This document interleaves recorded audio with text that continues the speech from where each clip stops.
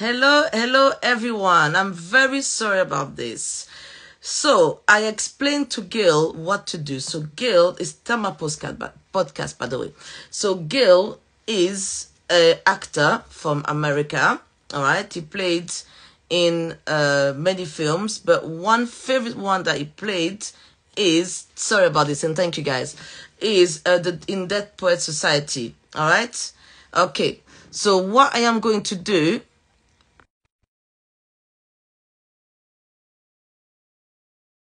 but he is actually on Instagram.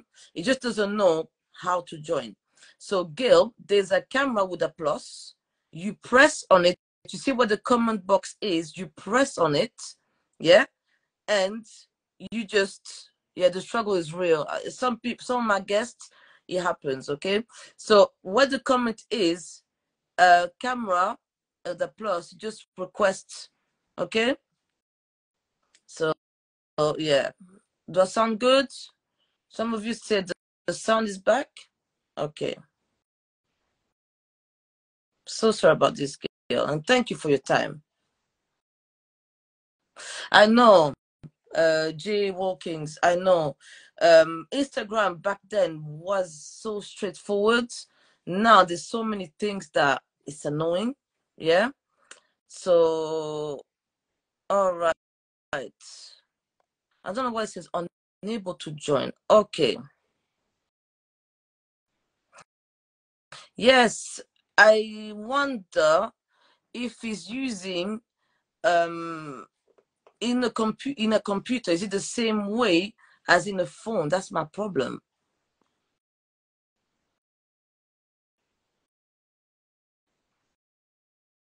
invite so when guys can somebody tell me when i press invite do you, where does the invitation end up? Because you asked me this question it's in the same as in a computer. Okay so when you invite someone where does the invite shows? That's my question. Yeah? Because in a message box. Okay so have a look at the message box. Yeah I've invited him a few times. Oh, bless him. This is, gosh, I'm also learning. Okay. All right. Accept. There you go. I've accepted. Fingers crossed. Fingers crossed. I've accepted. Yay! Whoa! Hi. Oh my God! Thank you. I can't use my um, desktop, so I have to use this. Oh, so you're using the desktop. That's why. Can you hear us? Okay. Can you can you hear me? Okay. I can hear you just fine. Can you hear me? I can hear you. I want to see you as well, fully. There you go. Perfect. Welcome, Gale. How are you today? You okay? I'm good. How are you? I am great. So you're in America. Is it as hot as in the UK right now? How hot, hot is it there? 33 degrees. And we Brits are not used to this. We are not used to this weather. we should be autumn. We should it should be cold over here. So Really? Wow. lovely. That's There we go. better. I, I can hear you. Can you hear me? I can. Can you hear me? Yes, lovely. So you're Gale Hansen. So please tell us, uh, when did you start um, acting lesson? When did you start in acting? Well, uh, I was in high school um, and got was very fortunate to study with a um, a teacher named Mr. Kelly up in Seattle, and um, he taught me all the basics. But at a certain point, uh, given his generation, he um, you know he, he he told me he said, "Yeah, I've taught you all I can, and you're either going to have to go to um, Los Angeles, work in television, film, or go to um, uh, New York City and learn how to be a real actor. Real actor. uh, you know, taking the challenge, I arrived in Manhattan, um, 1980, New Year's Day, um, and uh, I knew nobody. So I, I did know enough to go down to a studio called HB Studio. and I studied with Herbert Berghof, who was married to Uta Hagen, uh, one of the great teachers. And um, then I, I stayed with a couple other people who were there. One was a method teacher, uh, method. Um, I think I was too young to, to study that, so I didn't really enjoy that so much. But I, you know, pulled in the uh, the essentials of that approach. And uh, then I studied with Stella Adler a little bit, and um, and that prepared me for the person who ultimately became my my uh, my mentor, which was Sandy Meisner. And I studied with him for a while. Um, he went from being my teacher to my mentor, my mentor to my friend, and it was shortly thereafter that um, that I was lucky enough to um, land the role that that I'm most known for, which is Dead Poet. So, when you found out about this role, did you have to audition? So, how was the audition process? Did you know which characters you're gonna play, or they told you this is the character we want you to play? Oh no, no, no! I, I was actually uh, brought in um, for the character of, of Pitts, and yeah, went in that on my fiance's um, birthday, and I foolishly told her, I said, I'm going to get this role for your birthday, which was which is actually insane, but you know, love will do that to you. And um, the story goes, and I heard this from both Peter and Wendy Weir, that they were at the hotel watching the uh, the videotapes of the various actors who auditioned for the various roles. And unbeknownst to me, because I was nobody, and uh, they had been looking for someone to play the role of Charlie for quite some time. Now, there was a previous iteration of the of the film that Jeff, Jeff Kanew was going to direct, and they cast the entire film and they built sets, and I believe I don't think they actually shot, or maybe they shot a week or something like that, and then they pulled the plug. Disney pulled the plug and they burned the sets. That was it. And so, um, I believe Robin signed on and Peter signed signed on. Peter did some some work on the screenplay, but over the course of casting, they'd seen hundreds of people and hadn't quite found their Charlie yet.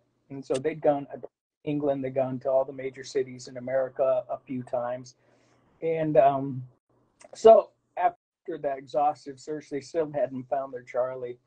And um, Wendy and Peter were at their hotel room going through the dailies, uh, selects from the casting director, and they skipped right over me because uh, Peter had the fast forward button going, and and Wendy said, "Stop, stop, go back to where I was," and said, "That's your that's your Charlie."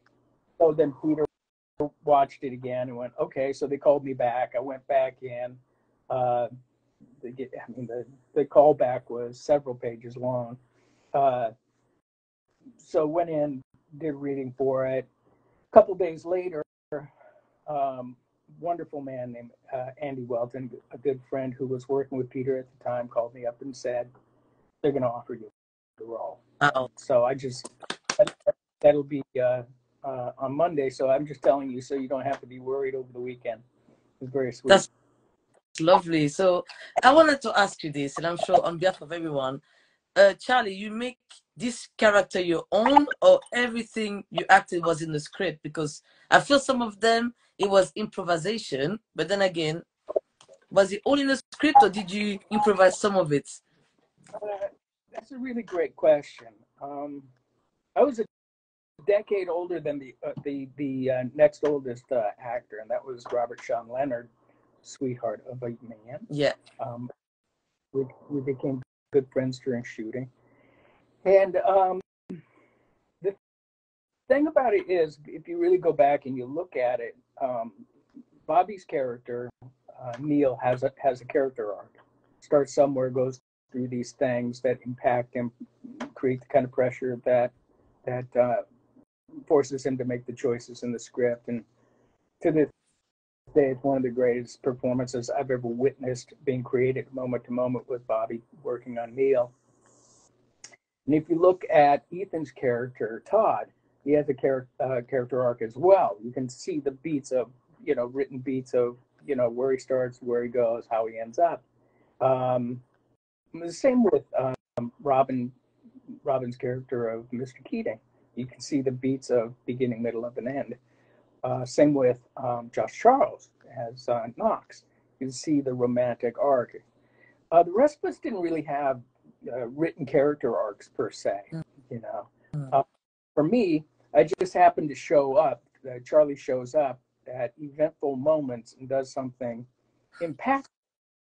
So it was up to me to figure out how to string those those moments together, descriptive moments, you know, like a um, like like pearls, right? To create the the continuity of it. And so that's was really wonderful. Where does that come from? You know, to create this moment. What is he doing? Why is he doing it? It comes from somewhere about something to someone. Um, which is what I was trained to do by Sandy Meisner. Every Mhm. moment meaning. Um, and then in terms of, of, of some of the more spontaneous moments, we were working with Robin Williams, who's just his spontaneity, his his improvisational abilities were beyond compare. Yeah. So we I don't know that we were ever told, yeah, make stuff up. If you feel it, say it. But you know, there there was a little bit of that creative uh, freedom given to us by Peter, as long as it was um, truthful to the circumstances, the relationship, and and the moment at hand. So there were some, and you know, part of me is a little chagrined this many years later, thinking about how hard the amazing Tom Schulman, you know, worked to make this Academy Award-winning screenplay. Yeah. You know, and and being young and uh, uh, full of energy. Yeah.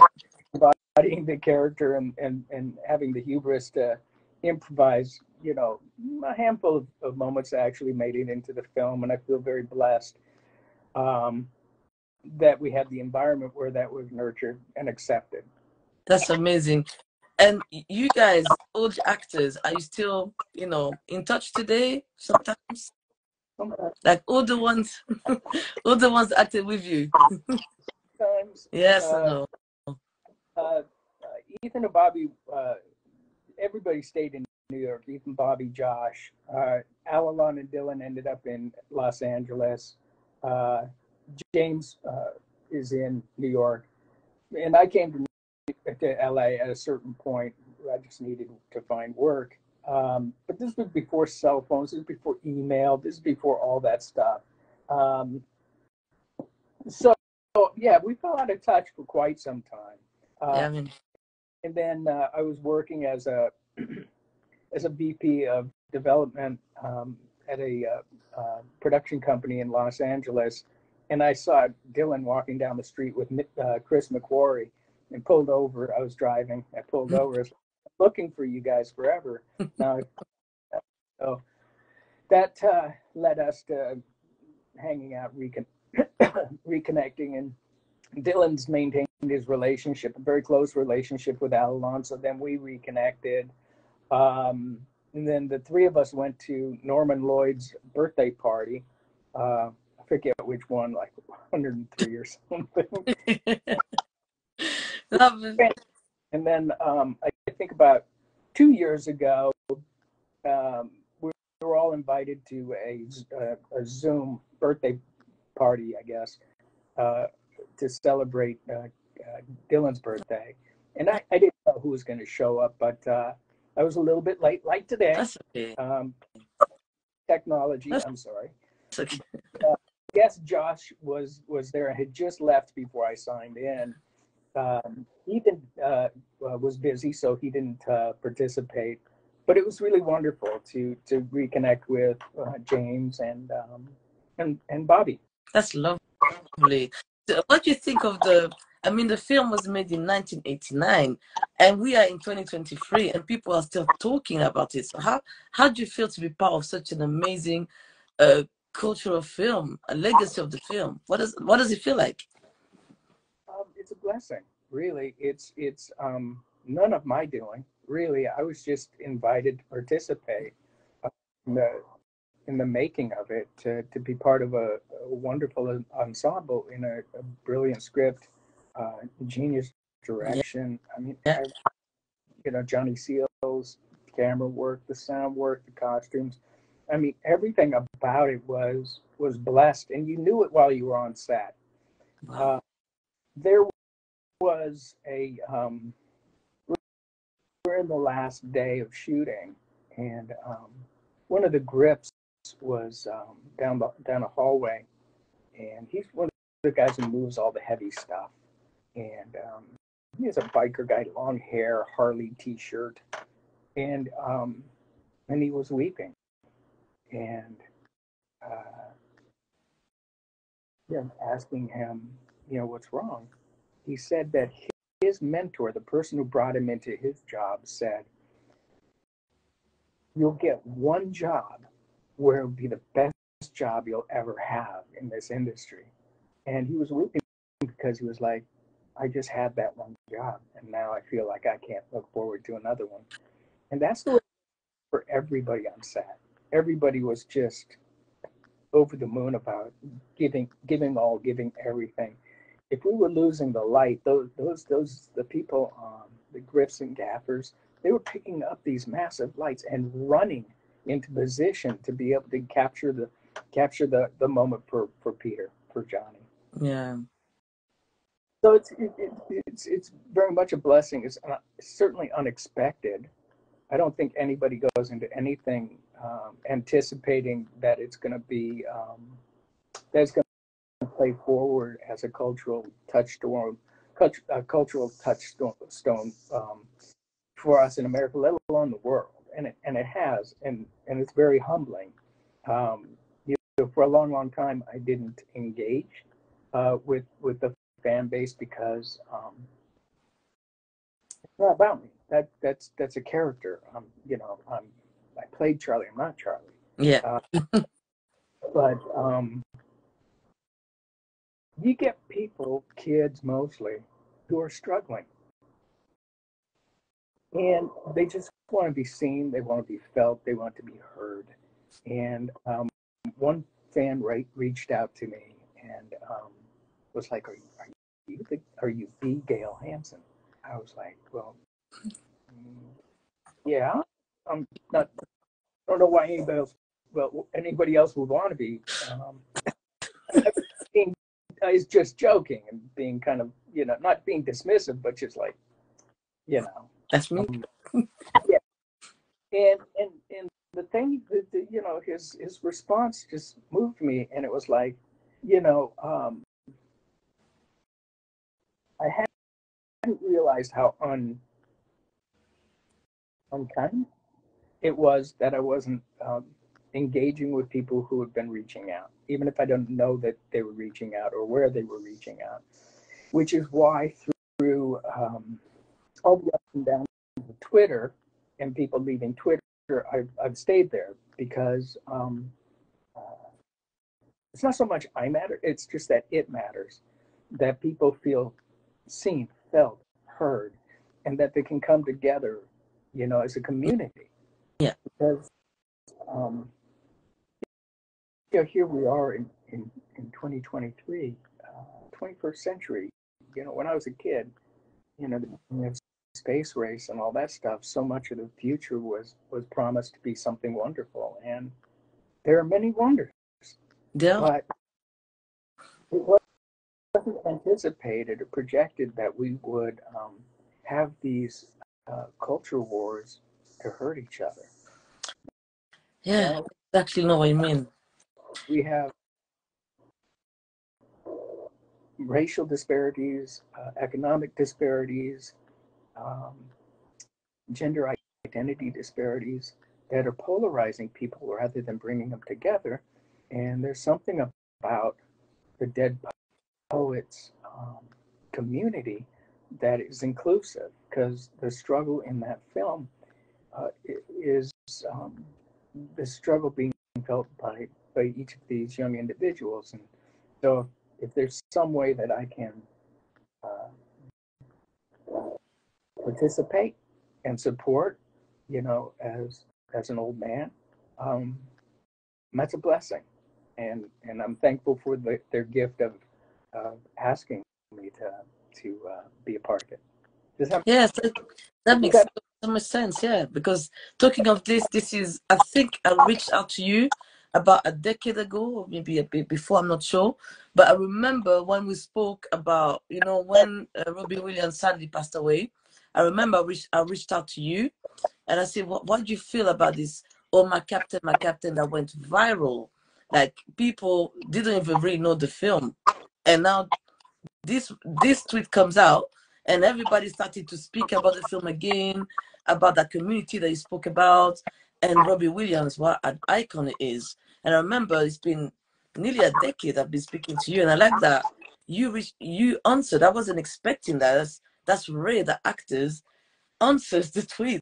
I mean, many of them they just I won't say they disregard the fan, but I know they're very busy people. But I like that you reached out. You reached out to people. And that's why so many people are watching today because you are also i'm sure some in some way you reach out to them. So you you feel like the love of your audience and you reciprocate this love. This is what i like about you. You're not the actor that's like you know arrogant no offense. I'm, I'm not sure actors are arrogant but i like that you're very compassionate. You're very lovely. You're very down to earth almost. So is that how we can describe yourself I don't know about um, arrogance in the most of the acting um, uh, community. I think it's more. Um, there's a little bit of um, a, a little bit of terror between who you actually are and being you're recognized out on the street. that's true And Very honestly, and um, some bad results have happened in real life for actors and actresses um, where someone who was not quite mentally healthy um, showed up um at their home. And the, that actor's not with us anymore. So i don't know if, if the if the um,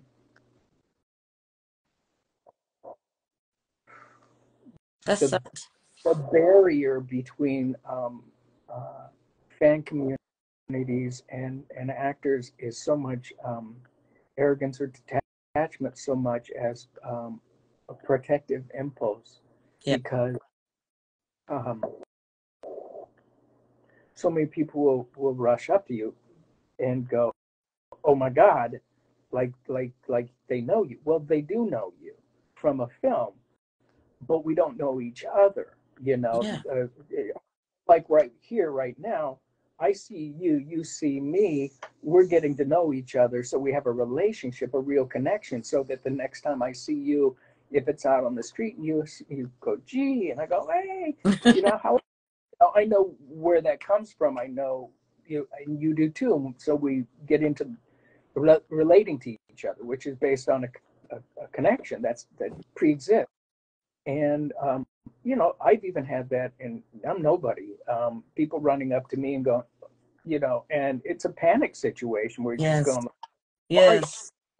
"Oh, I don't know you." Okay, Whew. am I safe? Okay, what's going on here? And then it's like, oh, okay, you want a picture, you want a, you want an autograph, you want to, you want to um talk about how, what the film meant to you. Okay, you know, um, but that's not always easily uh, No. negotiable. It, it can be scary. And I feel like what you said is true. That makes sense. It's true that sometimes you forget uh, when you go out there, you're a regular person. You're not that character that you portray. So a- after the Dead Poet Society, what other films did you participate in?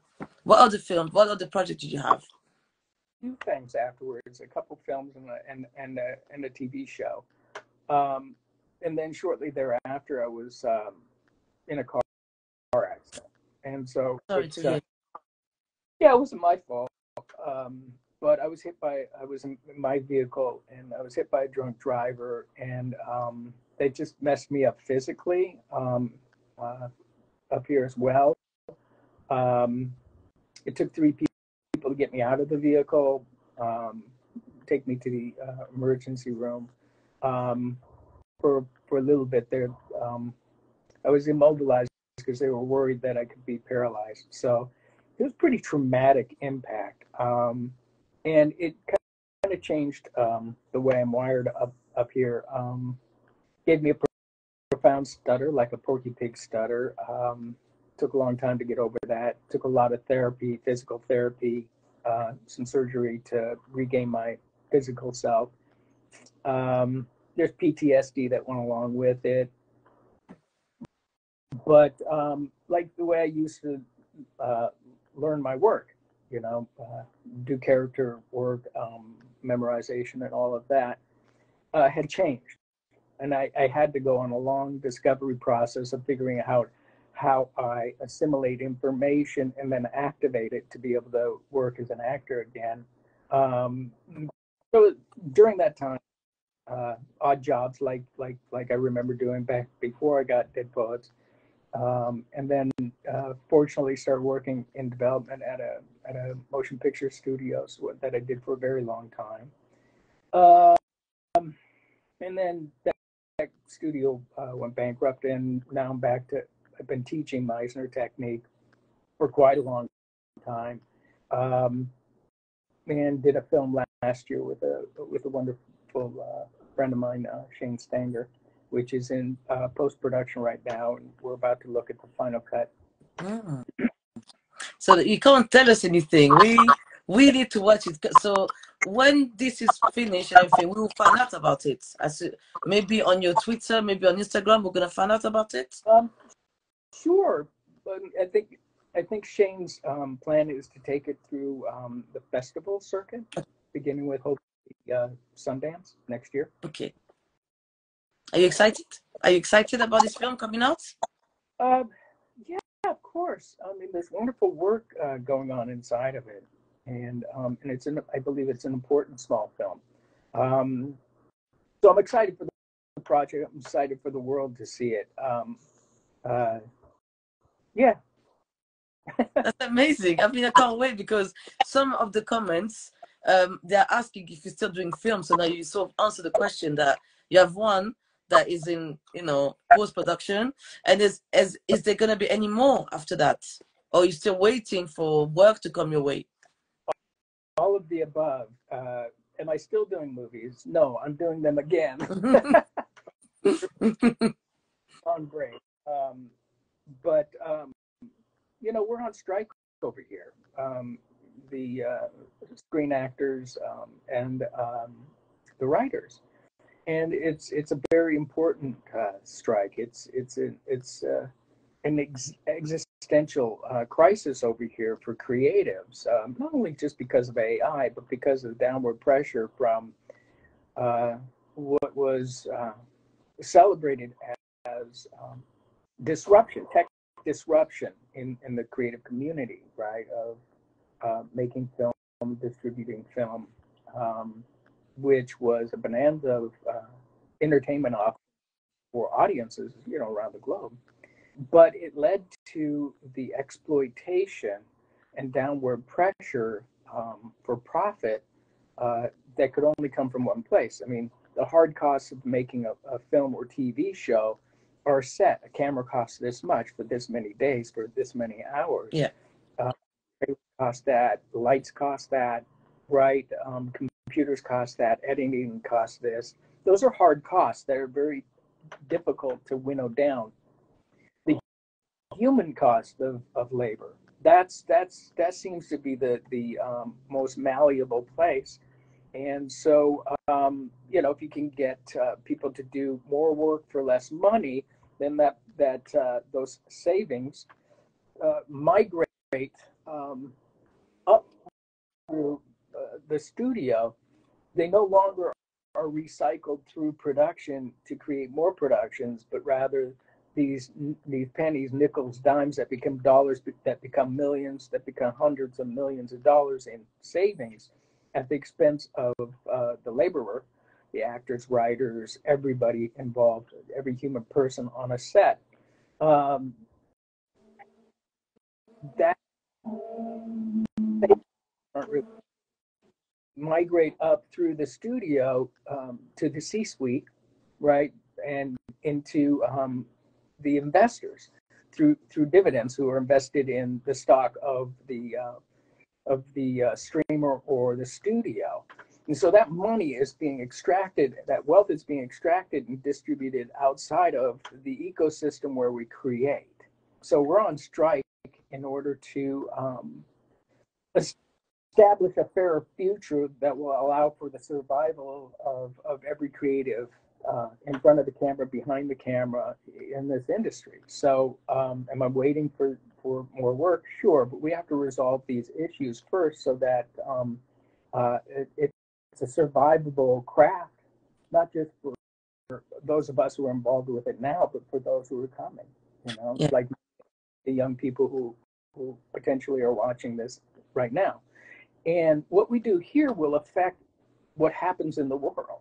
You know, in terms of filmmaking and television. Um, the uh, strike here uh, has triggered strikes as far away as South Korea, because even though we're being exploited, and we are, and some of us make a lot of money, and some people like me make a little bit of money, and we just continue to, you know, dream the dream.